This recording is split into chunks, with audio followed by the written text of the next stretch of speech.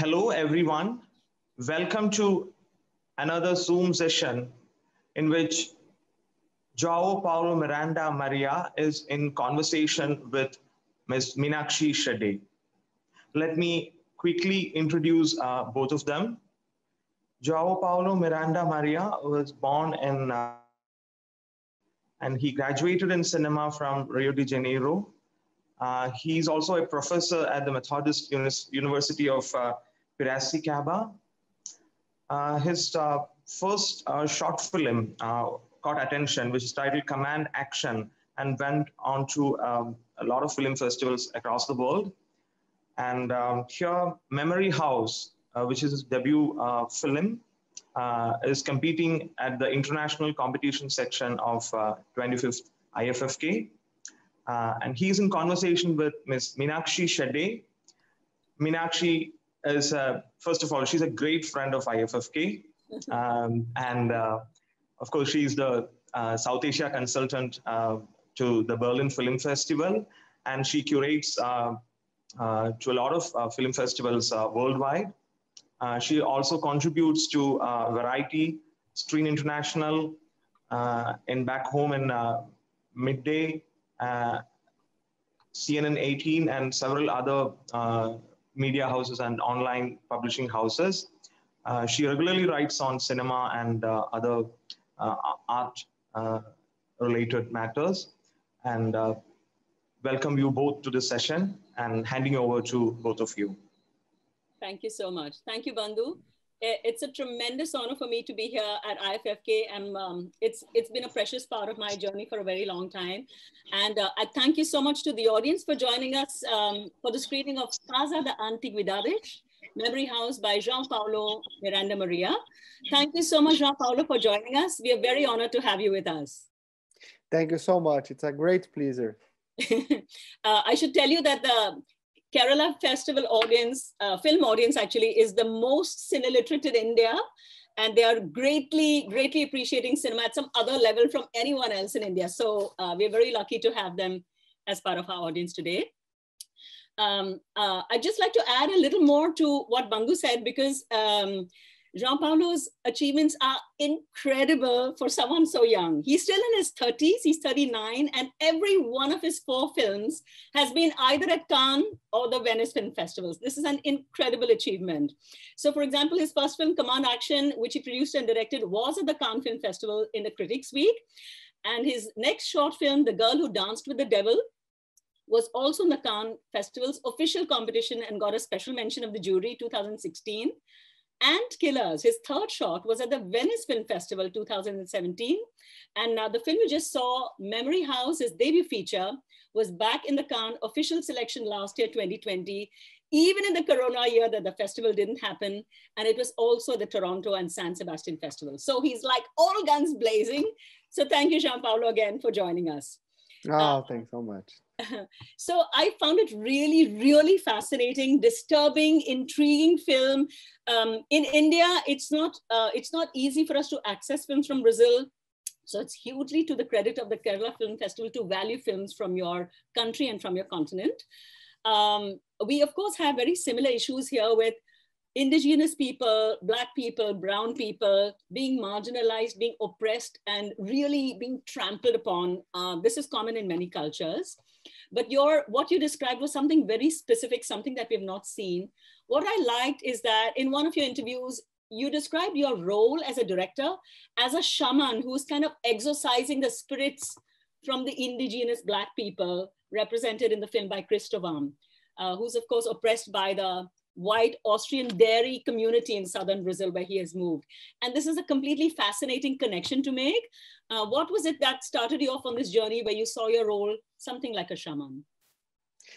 Oh, for me, uh, this to make a cinema, it's something spiritual. So even when I remember uh, the phrase from Robert Bresson, uh, who said that the director is the one who brings the invisible to visible, so for me to, to make cinema, it's to talk about one another dimension, something so subjective, another dimension. So it's so important to me to imagine like a religion's mission. So I see myself uh, sometimes like a priest, uh, sometimes as a shaman, I, uh, I I'm not uh, particular in uh, in one kind of religion. My family it's more Catholic, but to say the truth, I am more shamanic. So so I was introduced in 2018 with uh, one group of Indian community during all the year in different kind of rituals. So I consider myself more shaman, more shaman, shamanist than a uh, Catholic one. So fascinating, so fascinating. I mean, this is um, cinema at its purest, where it is actually close to a religion almost, right? That's that's a fantastic thing to make. I think what what I found really interesting is that I mean, to me, there are really very deep connections to this film also to India. Maybe it's in my head, but for example, in Italy, of all the countries, there is a huge community from the northern, from northern India, from Punjab, who are primarily an agricultural community and dairy community. And some of the best mozzarella in the world from Italy is made by Punjabi farmers in Italy. It's really so this this connection of uh, brown people, black people being used by white dairy community of other cultures is uh, uh, it's uh, much deeper than one might seem on the surface. And what I found really interesting about the use of the, the dairy culture and the cow, the cow's horns and the cow's uh, mask that he wears in the end, that Cristóvão wears in the end, uh, you know, tending more to this animistic, shamanistic um, religion that you described. Uh, what I found really interesting is uh, doesn't seem to, he of course is fairly rooted, but he kind of discovers his roots more and more through different objects in the house in the course of the film. And also how in contrast, the, the Austrian dairy farmers who own the dairy factory, essentially in the factory, they only, you only see the cows as the udders, machines that extract milk, some, something, an object from which you extract milk. It could have been iron or it could have been, I don't know, oil, petrochemicals. So this kind of machine-like uh, way of treating a living being uh, was very starkly put. Can you tell us a little more about the symbolism of the cow and what it might mean in the film, but also beyond the film in Brazil? Okay. So of course, uh, in Brazil, we have this uh, position of the more poor or more simple people from African descendants or indigenous descendants who came from the north and they try to go to the south, the more rich part with the biggest industry and companies and trying to find a better life. But in the opposite, they are being used like machines. So of course, we have this uh, re uh, relationship. And of course, uh, the opposite culture, because the South uh, is more like uh, European colonial, European descendants, more white, so it's very different from the north. So, and now in the political moment in Brazil, so we are seeing the, this kind of opposite, the two, the two sides, the poor ones from the north uh, and the south, uh, more conservative, uh, right uh, wing way to, to, to political way too. And uh, of course, we have the religions too. So, of, uh, so to be connected more with the African descendants, African uh, culture descendants, and of course the indigenous ones. So we have one mixed figure that we call, it's called Caboclo Boiadeiro. It's a mm-hmm. figure mixed in, with the Indian, the man, and the animal, the, the ox, the mm-hmm. cow. So mm -hmm. this mixing entity. Oh, sorry, sorry. D did you mean it's a mixture of human beings and an ox? Yeah, sure. Yeah. So we have this entity. Okay. So uh, in the religions in Brazil, in Brazilian religions, popular religions, so they this entity represents one kind of revolution. So when you listen the song that it's saying, it's time, it's to time to pray. It's a religious music I used in, inside the temples to the people be in transit to be receive this entity and dance and move in a different way. So that's why. So this music came to the film in this moment to really wake up and to have uh, to make one revolution, to clean, to clean something, clean, and and it's the death of the old and the more born of the young. So and uh, so it's very uh, a, a, figure, a symbol so important to to the film and uh, behind the film too. That's extraordinary because uh, in India we have that. Um, we do have figures like um, you know, like a half man, half cow. The more popular would be, say, a god like Ganesha, who's half elephant, half human being. So it's very common. We have in Persian cultures like this winged beast, you know, half bird, half yeah. in Egyptian hieroglyphs, you see half animal, half man. So it's common in many cultures. But this this figure that you spoke about is that commonly known in Brazil, and it's just I mean it's it's not something in your film only. It's part of the culture. This figure. Yeah, sure. Yes, it's real. This figure, as I said, came from the culture, from the religions, people from uh, the Indian and the African descendants. So it's very strong uh, and it's more popular because the rich ones are more Catholic, but the popular ones uh, knows very well the power of this entity because, as I said, it's a revolution.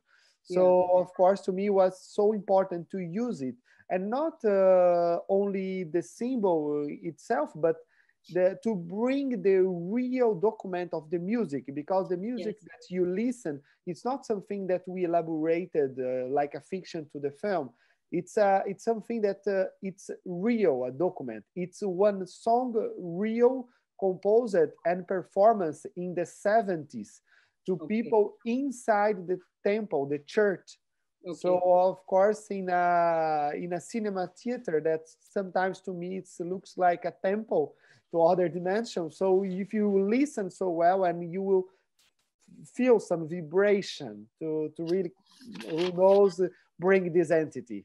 I did. It was kind of quite entrance. I mean, you know, kind of sending you in a trance a little bit. It's kind of quite hypnotic in its rhythm. So uh, it completely fulfilled its purpose, I have to say. It was very, very well used and appropriately. And I was also wondering um, whether your film um, so first of all, I, I'm just very intrigued by the character of Cristóvão and the whole thing. He's, so of course he's deeply oppressed, but what I really like about your screenplay is that it's too sophisticated to be black and white.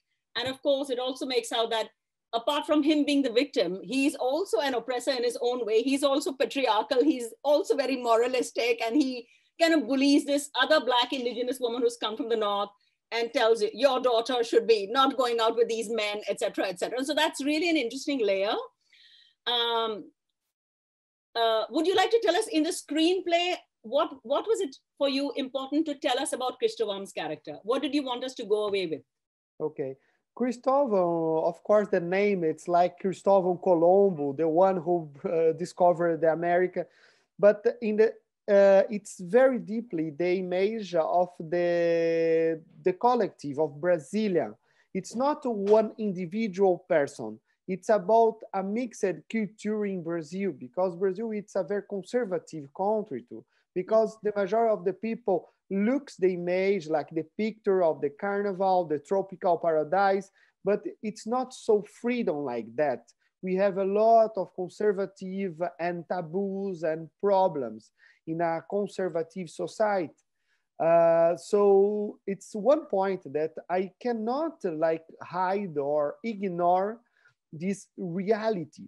So of course, Cristóvão is one kind of victim in the film, but he, in the same time, he is the one that oppressed the others.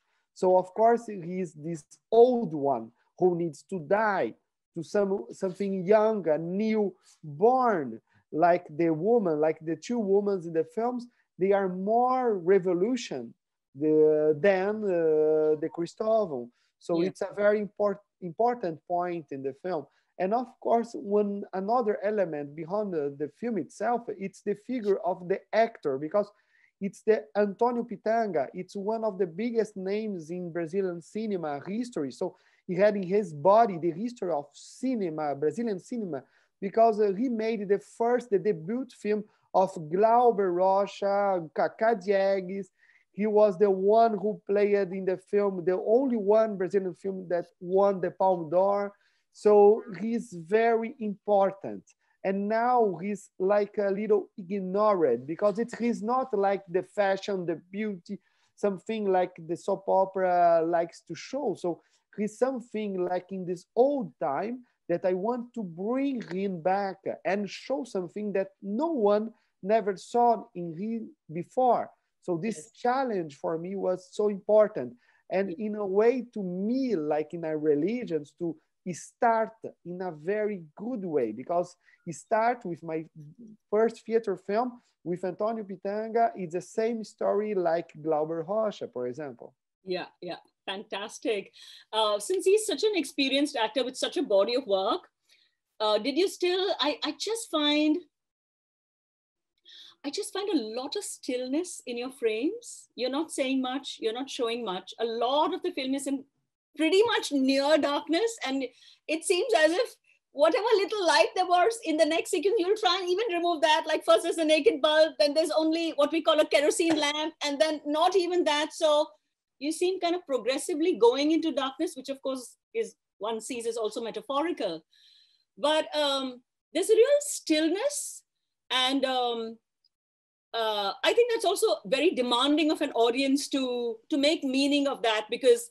Uh, of course, the same audience that is seeing rubbish on television and soap opera shit is also going to be seeing your film. There is an overlap, but uh, there's not a separate box for different audiences. And I find it fantastic your confidence that while giving very minimal information and stillness, you still trust that the audience is intelligent enough to get what get some of what you're saying, right? Um, your, your, your frames are very, very meticulously composed. What, what is in the frame and what little bit you can see in the little bit of light. Can you tell me about uh, this fantastic cinematographer you have, Benjamin Echazarreta? Sorry, Echazarreta yeah. Who did um, a fantastic woman and uh, you know fantastic body of work. Can you tell us a little more about your collaboration with him please? Yeah sure.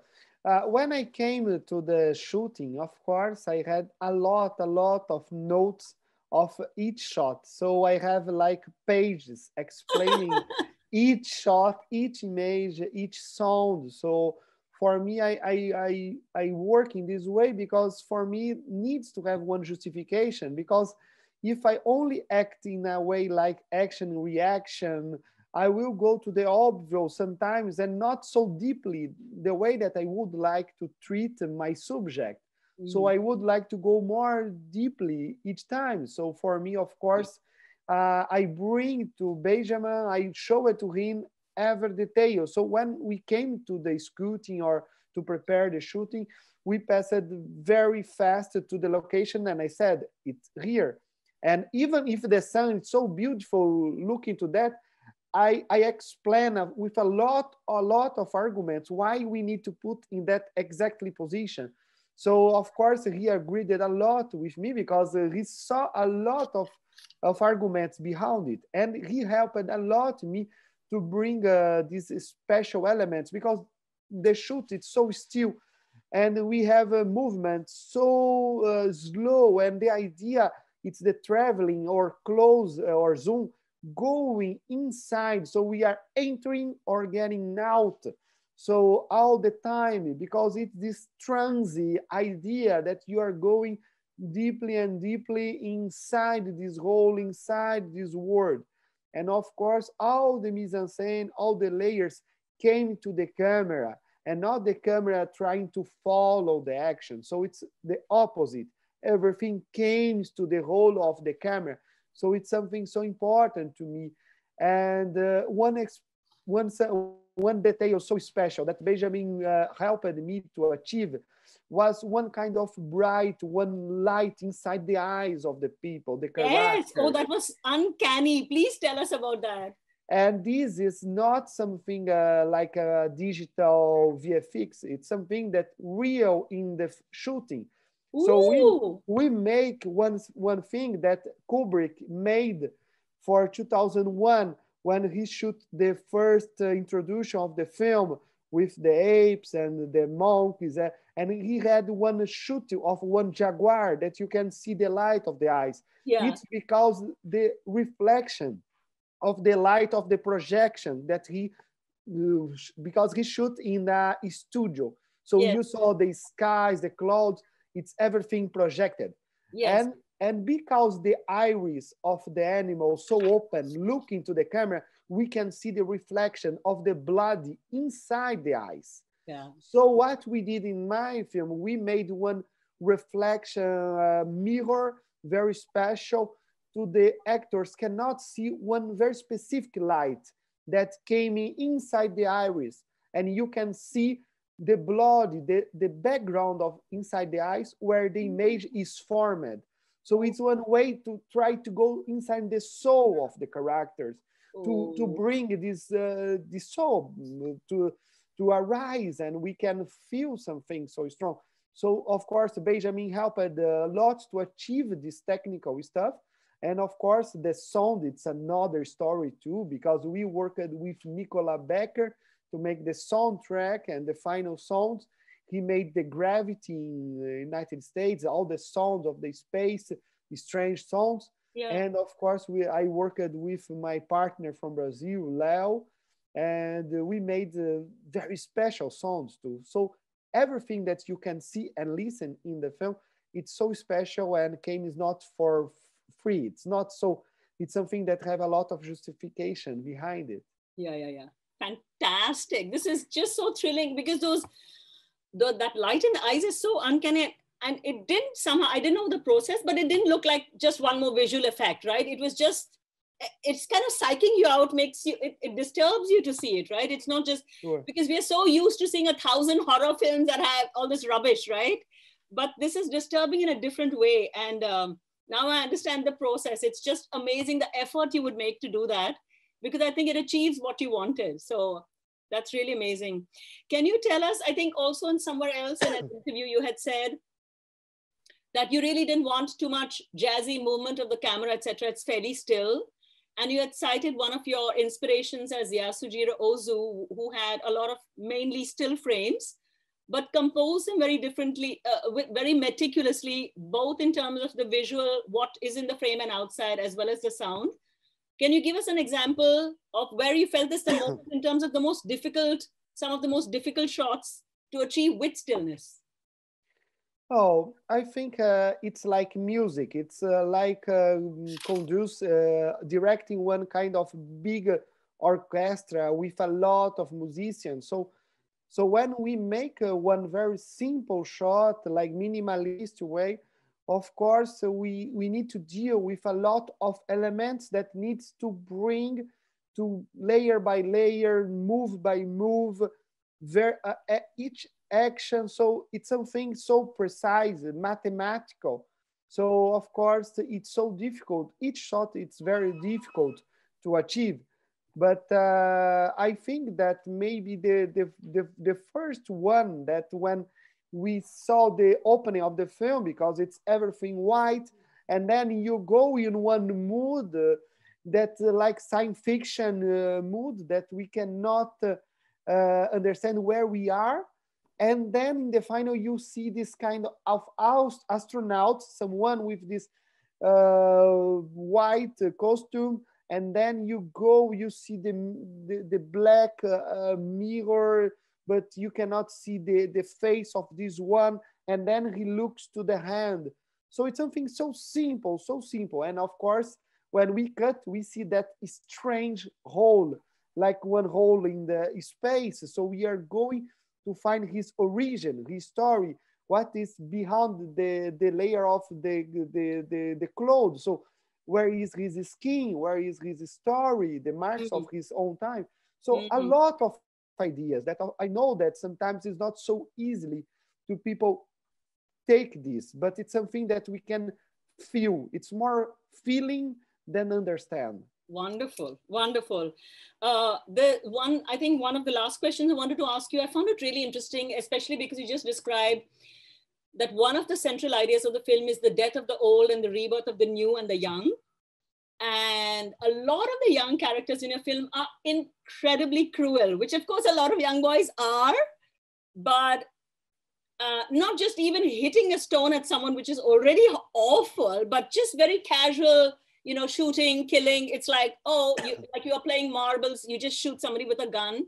And it comments a lot to me also on the gun culture and what are we bringing what values are we bringing up our young with? It's so casual. And even when adults are around, they don't say anything because that's what they expect them to do. Can you tell us a little more about the the, the young people being so violent? Okay, sure. Oh, everything in the film it's uh, it's a real. It's all some sometimes looks like folklore or exotic, but it's very real everything. And this culture of uh, the violence, it's it's something that came from the government of today. So it's something that came very strong today. So the new generations now, like uh, it's looking the example of the president that loves so much the guns and wants that everybody use one gun in home. And so, and he speaks so violently too. And so uh, the violence is in the mood. It's the example for the next generation.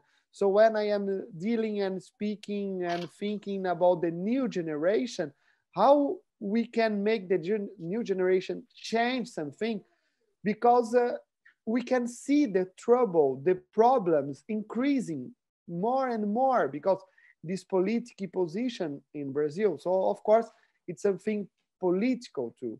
But uh, we can, of course, uh, compare of about all the history, the way that these poor North people are, uh, they were treated in our, our history because uh, in Brazil, we live in a very conservative uh, uh, society. But it's not only today. Today, they are showing their face. But before, they, they existed. So it's not something that arises only today. But yesterday, they tried to hide. It's something so between the lines. The violence was, uh, was in the way to speak, to treat, to, to the prejudice. So a lot of single and between the lines details. I um, I think last quick question.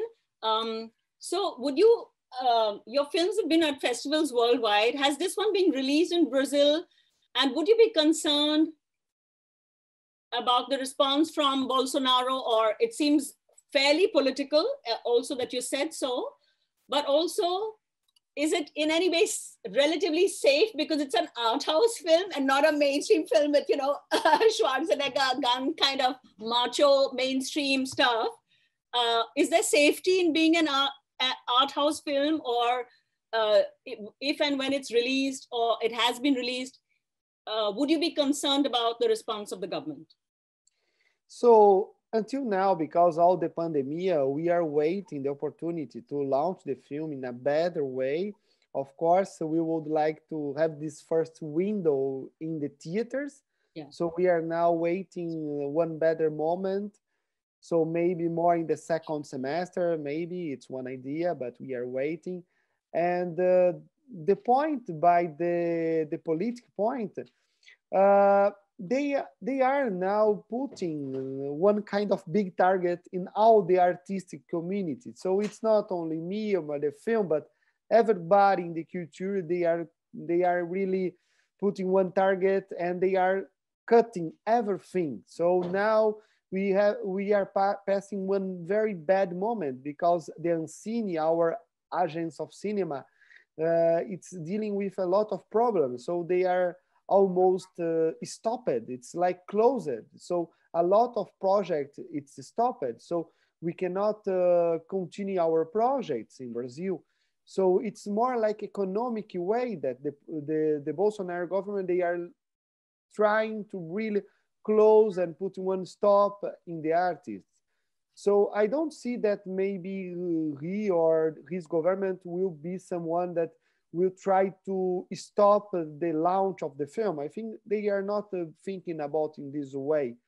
So the film, of course, uh, will screen in theaters normally, but uh, but of course, um, it's one kind of flag of one future revolution too. So yeah.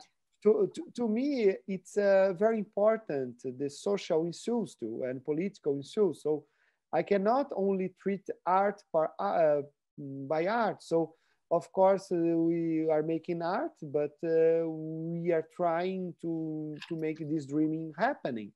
The dreaming to change something in our society.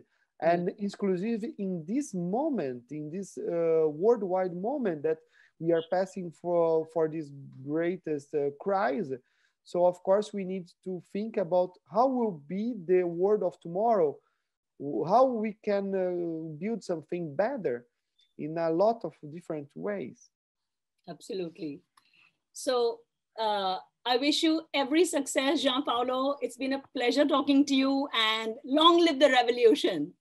no, thank you. Thank you so much. Thank you. I hope much. you get a chance to look at Kerala. It's one of my most favorite places on the planet. So after the screening, do enjoy yourself. Thank you so much. And thank you again to the Kerala Festival. Thank you, João Paulo.